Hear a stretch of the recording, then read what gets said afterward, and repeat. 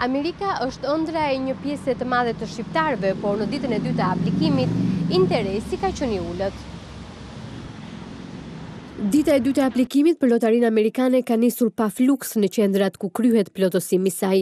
Jashtë kameras, personat që asistojnë për regjistrimin kundrejt pagesës thonë se interesi në dy ditët e para ka qenë i ulët krahasuar me një vit më parë, por ka ende kohë pasi afati i fundit është data gjashtë nëntor. Vitin e kaluar ishin rreth treqind e gjashtëdhjetë e shtatë mijë shqiptarë që aplikuan për lotarinë amerikane, por edhe këtë vit numri pritet të jetë i lartë për shkak të interesit që shfaqin qytetarët. Kjo është hera e parë që do të aplikosh? Jo, kam aplikuar edhe më përpara. Sa herë ke aplikuar më parë? Tre herë. Kam aplikuar çdo vit edhe do aplikojmë edhe këtë vit, me shpresë që të largohemi nga ky vend. Kishim ikë gjithë, po sa me Amerika. Por ka edhe nga ata të cilët të ardhmen e mendojnë në Shqipëri dhe nuk kanë aplikuar asnjëherë për t'u larguar jashtë saj.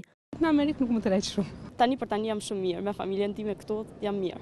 Madje unë kam marrë këtu edhe kam vendosur këtu.